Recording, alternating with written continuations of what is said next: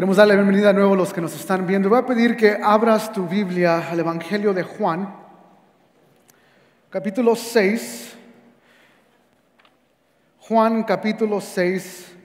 Y vamos a leer del verso 16 al 21. Pero antes de ello, vamos a iniciar orando mientras buscan el pasaje. Padre, venimos delante de ti en esta tarde agradecidos porque tú nos permites cantarte, adorarte, exaltarte, nos permites contemplar tu grandeza y tu belleza. Y Dios, yo te pido que en este tiempo juntos tú nos ayudes a enfocarnos en tu palabra, asimilar tu palabra para que traiga fruto y transformación a nuestras vidas y a nuestras almas. En el nombre de Jesús te damos gracias por este tiempo. Y todos decimos amén y amén. Juan capítulo 6, voy a leer del verso 16 en adelante y dice, al atardecer sus discípulos bajaron hasta el mar y subiendo en una barca se dirigieron, ah, se dirigieron al otro lado del mar hacia Capernaum. Ya había oscurecido y Jesús todavía no había venido a donde ellos estaban. Y el mar estaba agitado porque soplaba un fuerte viento.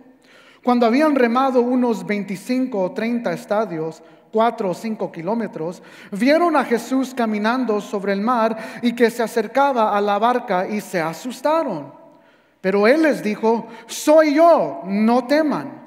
Entonces ellos querían recibir a Jesús en la barca pero la barca llegó enseguida a la tierra a donde iban. Al leer esto me hago una simple pregunta y es, ¿qué es lo que te causa a ti temor?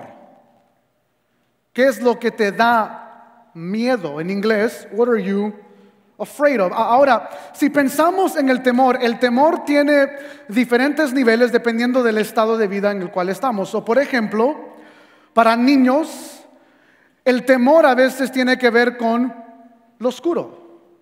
Si es noche, si hay oscuridad ah, y, el niño dice, oh, tengo miedo porque está oscuro, mami o papi me ponen una nightlight, una lucicita en la noche. Ahora, que alguien de los 30, 40 años esté así, estaríamos nosotros como un poco like, oh, ¿qué está pasando? Algo raro está aquí. Y el temor, de nuevo, tiene diferentes estadios, pero luego hay tipos de temores que son tipo fobias. Personas que le tienen miedo a ciertas cosas, como a los ratoncitos. Ves un ratoncito pasar y, ¡ah! y hay personas que le tienen miedo a los ratoncitos, a las arañas o a las alturas. Eh, no, no les gusta andar en lugares altos. Pero si somos sinceros, hay otro tipo de temor que casi todo adulto pasa. El temor de perder un trabajo y preguntarse cómo voy a proveer ahora por mi familia. El temor de una enfermedad que parece incurable. El temor al perder a un ser querido o aún perder nuestras propias vidas. Son diferentes niveles de temor. Y este pasaje está contestando una pregunta, pero no tiene que ver con qué tipo de temor sentimos, sino más bien la pregunta es la siguiente. ¿Qué causaría o qué tipo de miedo podría causarte a ti y a mí a negar a Cristo y dejar nuestra fe? ¿Qué en este mundo pudiera asustarnos de tal manera que nosotros diríamos, bye bye Dios, ya no te quiero seguir, ya no voy a seguir tus caminos. Y, la razón por la cual digo esto es porque al final del capítulo 6, en sí, el capítulo 6 está dejándonos saber quiénes son verdaderos discípulos y quiénes son falsos discípulos. Y al final del capítulo 6, la multitud va a abandonar a Jesús. Ellos tendrán miedo de seguir a Cristo. Los otros discípulos o los estudiantes de Jesús van a negar a Jesús, van a dejar a Jesús, van a, eh, irse de, de, seguirlo, van a dejar de seguirlo. Y luego Jesús va a ver a sus doce y les va a decir, ¿y ustedes qué? ¿Van a seguir a la multitud? ¿Van a seguir a ellos? Y Pedro va a contestar y decir, no Jesús, ¿a quién iremos si solo tú tienes palabras de vida eterna?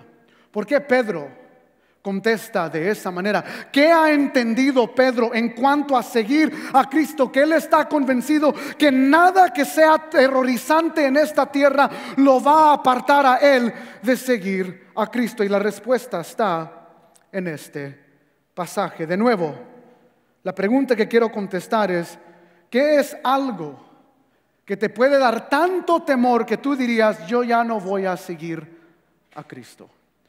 Capítulo 6, verso 16 dice lo siguiente. Al atardecer sus discípulos bajaron hasta el mar, verso 17, y subiendo en una barca se dirigieron al otro lado del mar hacia Capernaum. Y quiero parar ahí. ¿Por qué los discípulos van hacia un barco?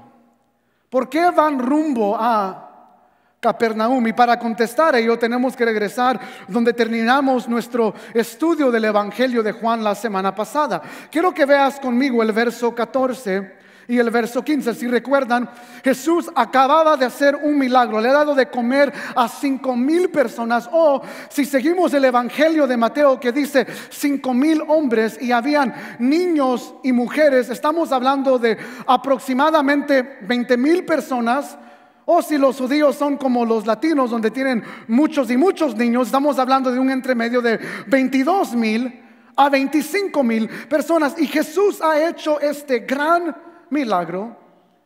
Y sin embargo le dice a sus discípulos, vamos, dejemos a la multitud, vayan hacia Capernaum. Y la pregunta es, ¿por qué? Bueno, el verso 14 dice, la gente entonces, al ver la señal que Jesús había hecho, decían, verdaderamente este es el profeta que había de venir al mundo.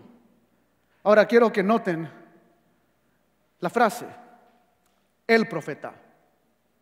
Ahora, Jesús en los evangelios es llamado profeta muchas veces. Por ejemplo, en Mateo 21, 46, el evangelio de Mateo nos narra que, que las autoridades y los religiosos tenían miedo de arrestar a Jesús porque la multitud reconocía que él era un profeta. En Marcos capítulo 6, 15, Jesús le pregunta a sus discípulos, ¿quién dice la gente quién soy yo? Y ellos dicen, algunos dicen que eres Juan el Bautista, y, Marcos 6, 15 específicamente responden, otros dicen que eres Elías, que eres eres un, un, un, profeta como uno de los profetas del Antiguo Testamento. Es un profeta. En Juan 4, 19 cuando la mujer samaritana Jesús le dice todo su pasado, ella dice ciertamente es profeta, es un profeta. Pero aquí no sé si notaron el lenguaje cambia. No es un profeta, es el profeta. No hay otro.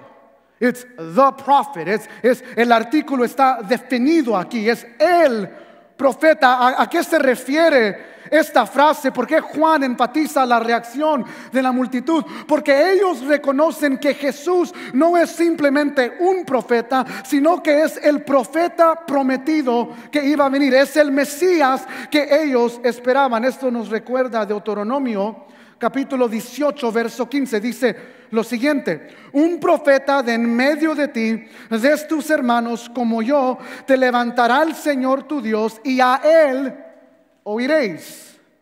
¿Cuál es el énfasis aquí? El pueblo esperaba un Mesías, esperaba un perfecto profeta. ¿Y qué dice el pueblo? Es Jesús. Entonces, ¿por qué Jesús se va? They're not wrong. No están mal. Lo que ellos acababan de decir acerca de Jesús es 100% correcto. Él es el profeta, no hay otro como Él. Él es aún mayor que Moisés. Entonces, ¿por qué Jesús se va? ¿Por qué le dice a sus discípulos que vayan hacia Capernaum y se aleje de la multitud? Bueno, la respuesta está en el verso 15.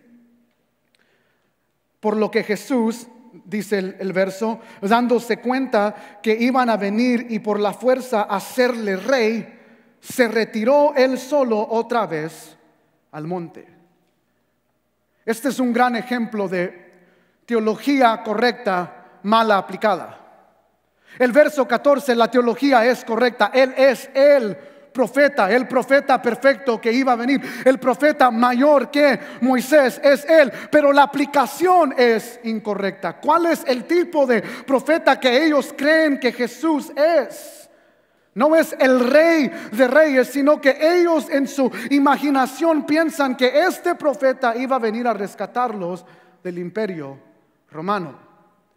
Piensan que Jesús es un guerrero rey que es un rey que viene simplemente a librar al pueblo judío del reinado de Herodes o de César en este contexto. Piensan que Jesús viene a rebelarse en contra del gobierno y viene a rescatarlos simplemente de una nación imperial. Y por eso Jesús dice que él sí va a ir al monte y le dice a sus discípulos que vayan hacia Capernaum. Ahora no podemos perder el énfasis aquí. Esta es la segunda vez en este mismo capítulo que Jesús deja las multitudes, porque ellos tienen una mala aplicación a quien Él es. Quiero que veas conmigo, mismo capítulo Juan, verso 2 y 3, para recordarles la primera vez por qué Jesús se va. Capítulo 6, verso 2 dice, y una gran multitud lo seguía, pues veían las señales que realizaba en los enfermos. Entonces Jesús subió al monte y se sentó allí con sus discípulos. ¿Lo notaron?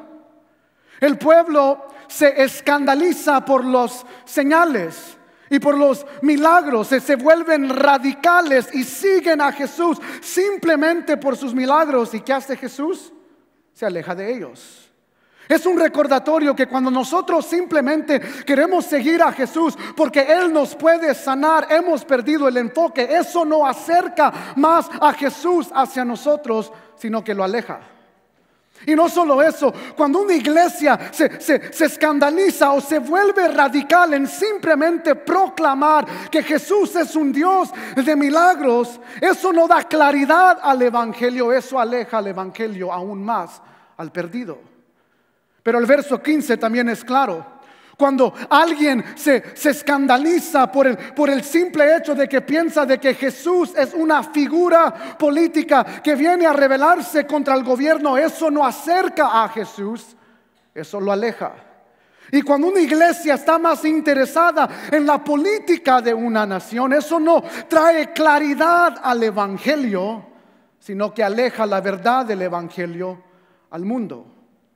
Ahora yo sé que estamos en algunos meses para votar y, es bueno votar como ciudadanos.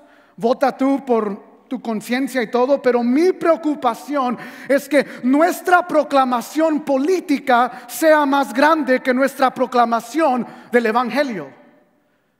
Y esa es mi preocupación como uno de los ancianos aquí en la iglesia, que la solución a los Estados Unidos no es quién se va a sentar en la, Casa Blanca después del noviembre 3. La solución a nuestro dilema siempre ha sido aquel que está sentado en el trono. Y el énfasis aquí es, Jesús se aleja cuando el pueblo simplemente quiere un redentor que los va a librar del gobierno. Y llegamos de nuevo al verso 17. Jesús se va.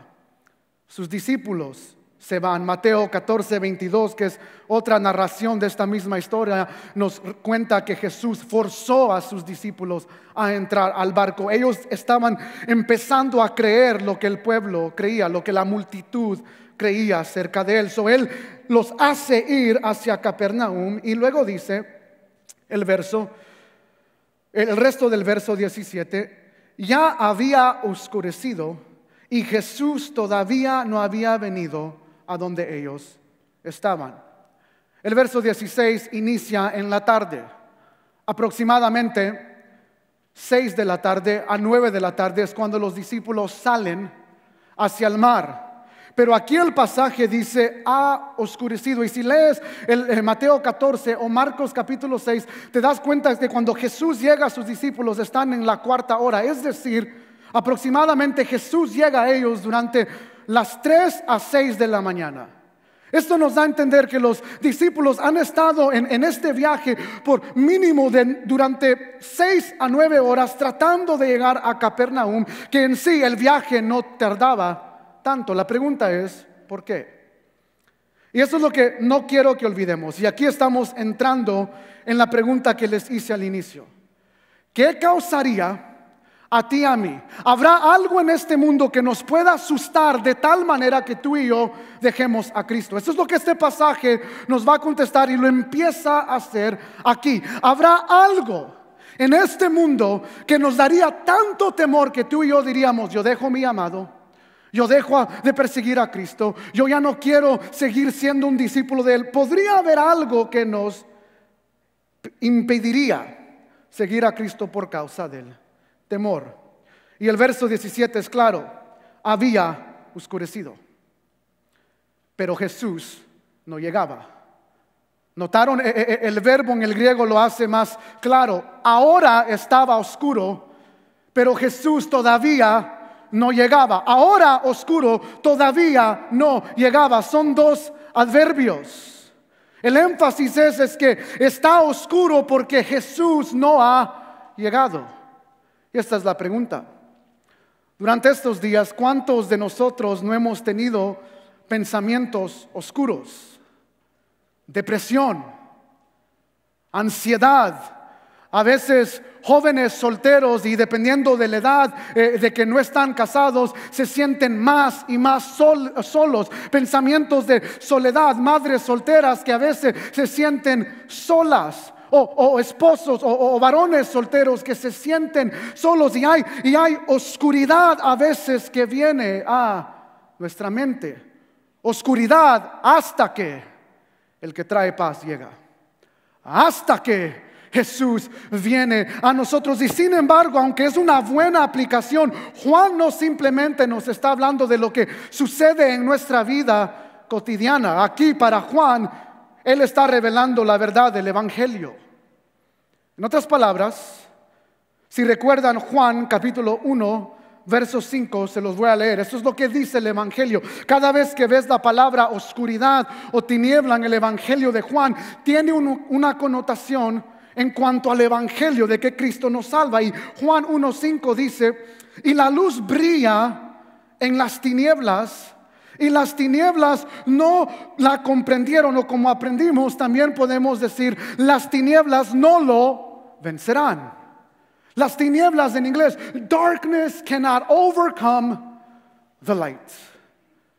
¿Qué es lo que Juan nos está tratando de recordar al decir que estaba oscuro, pero que Jesús todavía no ha llegado? No es simplemente que Jesús nos trae paz cuando tenemos pensamientos de soledad y ansiedad. Pero hay una verdad más grande aquí. La verdad es que aún las personas más oscuras del corazón, aún personas que están lejos, que tú y yo diríamos, esa persona no puede ser redimida por nadie. Aún esa persona oscura, amarga, enojada, fuera de Cristo, puede venir a la luz de la salvación.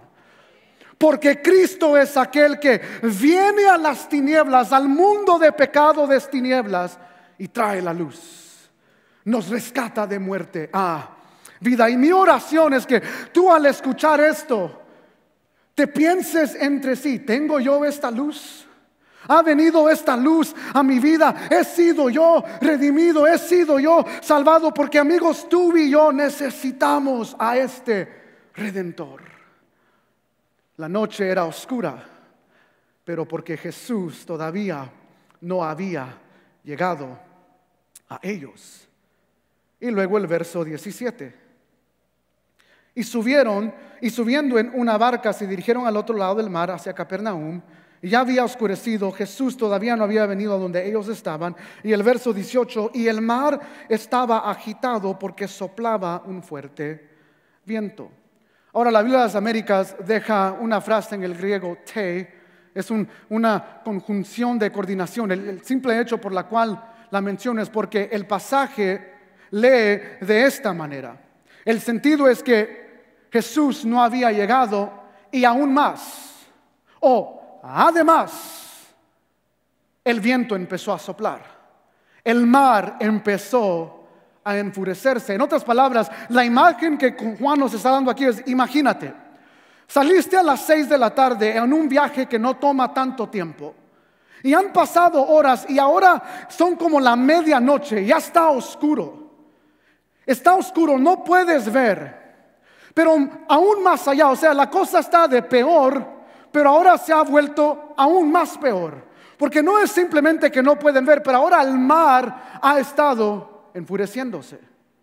El mundo para los discípulos está yendo de peor a peor, a peor. Y si somos sinceros, tú y yo fácilmente podemos asimilar lo que los discípulos están experimentando aquí. Porque para muchos de nosotros estos últimos meses ha sido mala noticia tras mala noticia tras mala noticia. Familiares perdiendo su vida enfermedades que no podemos explicar, la economía bajando, pérdida de trabajo y mala noticia tras mala noticia, esposos al punto de divorciarse, personas preguntándose, ¿qué voy a hacer? ¿Qué va a suceder en el futuro? Mala noticia tras mala noticia tras malas noticias. No era simplemente que estaba oscuro, pero además la tormenta empezó a elevarse. El mar empezó a enfurecerse. Y esta es la pregunta. ¿Podría eso hacerte negar tu fe? Esto es lo que está en cuestión aquí. Esta tormenta va a causar que los discípulos dejen su fe. Y aquí está la razón por la cual no debería hacerlo para nosotros y por qué no lo hace para los discípulos. La pregunta es si los discípulos esperaban a Jesús en el verso 17, ¿dónde está? ¿Alguna vez has preguntado esa pregunta en medio de la calamidad? Where you at, Jesus? ¿Dónde estás, Jesús? Yo te he seguido. ¿Dónde estás en esta situación? Mateo 14, 23. Marcos 6, 46. Las dos narrativas de este pasaje nos dicen lo que Jesús está haciendo. ¿Y qué está haciendo Jesús? Él está orando. Él está orando. Ahora, para tú y yo, ¿y eso qué? ¿Eso qué me ayuda que Jesús esté orando. Porque la razón por la cual los discípulos van a poder enfrentar esta tormenta es porque el buen sacerdote está orando por ellos en medio de su tormenta. Y no solo eso, Marcos 6, 48 nos dice el primer milagro en esta historia. Jesús los ve. Jesús está lejos de ellos está en una montaña orando por ellos, pero Él los ve en su calamidad. Cuando tú y yo nos sentimos solos en medio de la tormenta, no tenemos que olvidar dos verdades, que Jesús está orando por nosotros y que Él nos ve aun cuando nosotros sentimos que estamos solos. Hebreos 7:25 dice lo siguiente, por lo cual Él también es poderoso para salvar para siempre a los que por medio de Él se acercan a Dios, puesto que vive perpetuamente para interceder por ellos. Jesús no solo ora por los discípulos, cuando están en la tormenta, pero tú y yo, como personas que hemos sido escogidas por Él, podemos enfrentar las tormentas y no dejar nuestra fe, no por nuestras fuerzas, sino porque tenemos a un buen sacerdote que aún en estos momentos está orando por nosotros, que aún en estos momentos nos ve y cuida de nosotros. ¿Qué causaría negar tu fe? La respuesta es, nada debería hacerlo porque Él ora por ti y Él te ve en medio de la calamidad. Pero el verso sigue, el pasaje sigue. Jesús no simplemente ora y nos ve en medio de la tormenta, pero nota ahora conmigo el verso 19. Cuando habían remado unos 25 o 30 estadios, en español sería 4 o 5 kilómetros o para los estadounidenses serían entre un medio de 2 a 3 millas. Ellos habían remado 2 a 3 millas y sin embargo, aunque parece que van llegando cerca a Capernaum, lo opuesto está sucediendo. Entre más reman, más lejos están de la orilla del mar. Más lejos están de Capernaum. Y, esto lo vemos en Mateo 14, 24, que dice, pero la barca estaba ya muchos estadios de la tierra y era azotado por las olas porque el viento era contrario. Es, es una imagen que Juan nos está dando que los discípulos están remando, remando, remando, pero no están yendo a ningún lugar. Cuando tú y yo queremos enfrentar las tormentas de esta vida en nuestras fuerzas, es lo mismo que sucede. Remamos y remamos y remamos y no vamos a ningún lugar. Llegamos más lejos de donde deberíamos estar.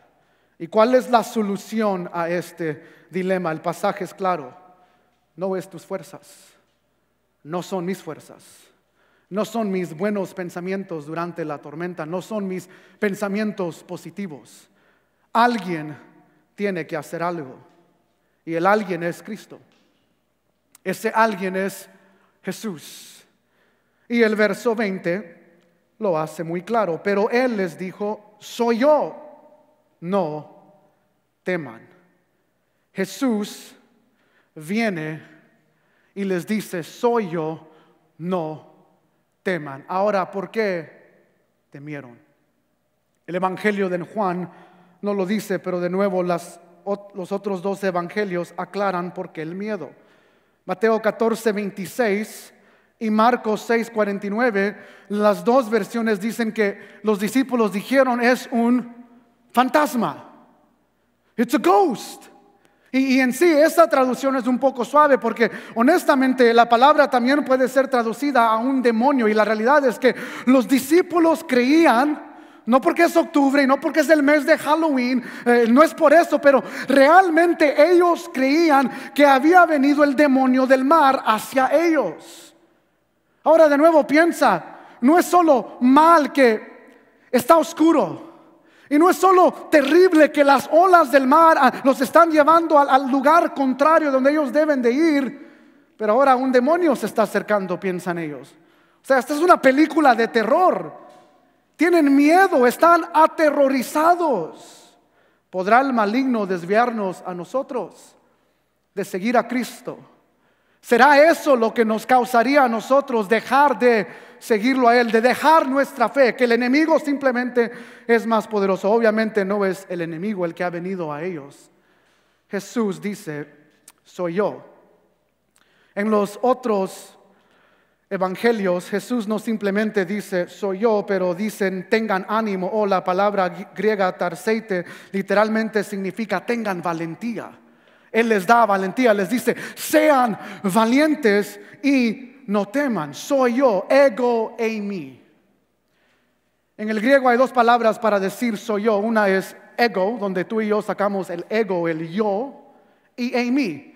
Pero aquí, como en muchas ocasiones del Evangelio de Juan, Jesús dice ego eimi, o para traducirlo al español, soy yo, soy yo.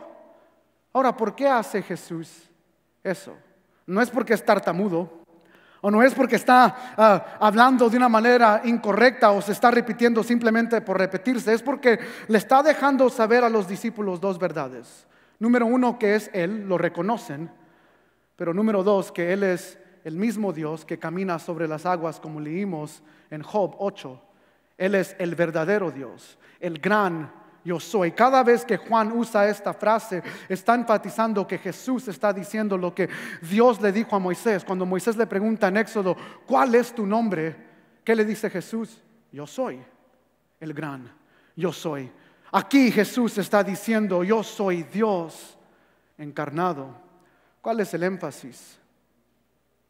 No es simplemente de que Jesús ora por nosotros no es simplemente de que Él nos ve en la calamidad, en la tormenta, pero Él también viene y nos protege durante la tormenta. Ahora quiero que noten, no es la protección que tú y yo queremos.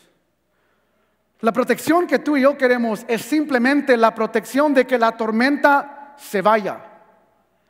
Pero cuando Jesús habla de rescatar en medio de la tormenta, el énfasis es que nosotros tengamos fe o que no perdamos la fe aun cuando estemos atravesando las tormentas. Y por eso de nuevo la pregunta, ¿qué causaría que a ti y a mí nos causara tanto temor que nosotros abandonaríamos a Cristo? Y la respuesta es clara, nada debería de hacerlo porque Él intercede porque Él nos ve y porque Él nos protege, Él nos mantiene salvos, Él nos mantiene teniendo fe en Él aún en medio de la tormenta. Ahora hay algo que falta en este Evangelio en Juan 6 y es la historia del famoso discípulo Pedro. En sí, Juan capítulo 6 ni el Evangelio de Marcos ponen la historia de lo que Pedro hizo. La pregunta es, ¿por qué? ¿Por qué no está esta historia aquí? Si recuerdan, lo vemos en Mateo 14, 28, cuando Jesús dice, soy yo, Pedro dice, si verdaderamente eres tú, hazme caminar sobre el mar. Ahora, ¿por qué Pedro dice eso? No sé, pero para mí es una pregunta like a little crazy, o sea, un poco loca en el sentido. Y aunque muchos de nosotros hemos escuchado, yo diría, malos sermones de cómo Pedro caminó en el agua y mira la fe de Pedro, aunque dio dos pasitos, ¿cuántos de los discípulos estuvieron dispuestos de salir del barco? Ese no es el énfasis aquí. No solo Pedro camina sobre el agua, pero el énfasis también está en Mateo 14, 30, que Pedro ve las olas y tiene temor y empieza a hundirse. Y en el verso 31 del capítulo 14 de Mateo, Jesús no le dice, ¿por qué tuviste miedo? Jesús le dice, ¿por qué dudaste? Peter, why did you doubt? Pedro, ¿por qué dudaste? No le dice, ¿por qué tienes miedo? Le dice, ¿por qué dudaste? De nuevo, ¿por qué Juan no tiene la historia aquí y aún porque Marcos, los que han tomado clases del Nuevo Testamento, Nuevo Testamento recordarán que aunque Marcos es el escritor del Evangelio, Pedro es el que está contando la historia. ¿Por qué Pedro mismo no incluye esta parte en el Evangelio que él está contando? ¿Está siendo humilde? La respuesta es no, no creo, probable, pero no creo. La razón por la cual Pedro no está en el Evangelio de Marco, lo que hace Pedro no está en el Evangelio de Marco, ni en este Evangelio es simplemente porque la historia no se trata de lo que Pedro hizo, se trata de lo que Jesús hizo. La historia no se trata de quién es Pedro y qué es lo que hace, es más, la historia revela que de todos los discípulos, Pedro fue el único que tuvo miedo y que dudó. Pero la historia tiene una conclusión impresionante que es, aun si dudas, ese es el punto de Mateo al incluir esto, aun si tienes miedo o si dudas, si tú simplemente dices lo que Pedro dice, Jesús, sálvame, Él puede salvar a aquel que tiene miedo durante la tormenta y aquel que duda que Cristo es poderoso para salvarle. En otras palabras, Jesús salva no solo a aquel que tiene miedo, miedo pero aún a aquel que duda en Él. De nuevo, este pasaje está contestando una sola pregunta. ¿Qué causaría a ti y a mí? ¿Qué nos podría dar tanto miedo que tú y yo abandonaríamos la fe? Y la respuesta aquí es, nada debería hacerlo. Él es, de nuevo, el que ora por nosotros y Él es el que nos protege. Y luego el verso 21. Entonces ellos querían recibir a Jesús en la barca, pero la barca llegó enseguida a la tierra donde iban. Jesús no simplemente los ha protegido en medio de la tormenta, pero los ha trasladado. Este es el último milagro aquí. No solo camina sobre el agua, no solo los ve en su omnisciencia, pero inmediatamente están en el medio del mar. Jesús entra al barco y ahora están en el lugar donde ellos tenían que estar. Jesús los ha rescatado. Ahora, para los discípulos la respuesta es fácil. ¿Qué podría causarlos a ellos dejar su fe? Lo vemos al final del capítulo 6. Nada. Pedro dice, ¿a quién iremos si solo tú tienes vida, palabras de vida eterna? Pero la pregunta de tú y yo a veces no es el mar. Para muchos de nosotros es cuando más seguimos a Jesús, en medio de la calamidad, En medio de la tormenta es cuando más buscamos a Jesús. El problema de nosotros es que cuando Él nos lleva a la seguridad, cuando Él nos sana de X enfermedad, cuando Él eh, sana nuestro matrimonio, cuando, cuando los problemas se van, es cuando tú y yo más problemas tenemos en seguirle. En otras palabras, este pasaje no simplemente está diciendo qué temor nos podría dejar, a, causarnos de dejar a Cristo, pero también está elevando la pregunta, si Cristo nos libra de todos nuestros temores, ¿todavía le seguiríamos? Y estoy impresionado con muchas personas que Dios ha sanado sus matrimonios, ha sanado a sus familiares, ha hecho cosas sobrenaturales que solo Él puede ser y aún en estos momentos quieren regresar a la chupadera, a los bailes, al mundo, de donde Dios los rescató. Y para algunos de nosotros la respuesta a las tribulaciones es, no, eso no me puede alejar de Dios, pero las bendiciones sí. Cuando Dios sí nos libra, a veces muchos de nosotros ya no vemos la necesidad de buscarla. Ahora, ¿por qué digo esto? Porque en Mateo, Jesús no simplemente se mete en el barco, pero el pasaje en Mateo nos dice que los discípulos se postraron y qué? Le adoraron. Y dijeron, verdaderamente este es el Hijo de Dios.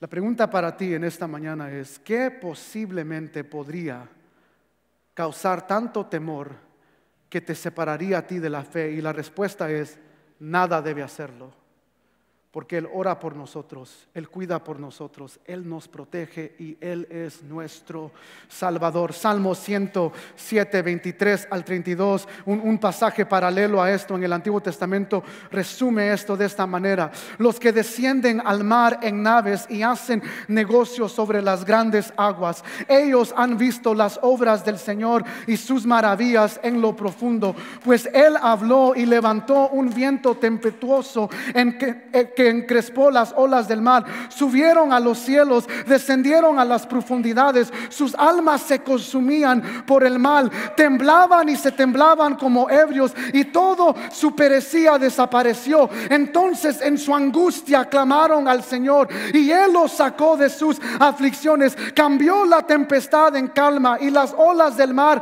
callaron. Entonces se alegraron porque las olas se habían aquietado y Él os guió por el anhelado. Den gracias al Señor por su misericordia y por sus maravillas para con los hijos de los hombres. Exáltenle también en la congregación del pueblo y alábenle en la reunión de los ancianos. ¿Qué podría alejarnos de Cristo? La respuesta es nada debe hacerlo porque Él es fiel, porque Él es bueno y porque Él es nuestro Salvador. Vamos a adorarle a Él en esta mañana.